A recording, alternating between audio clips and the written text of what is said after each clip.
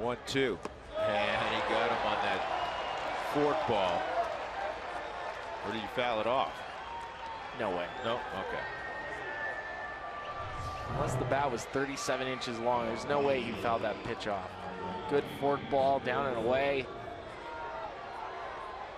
Baez not looking to put the ball, really make solid contact and then hit one out.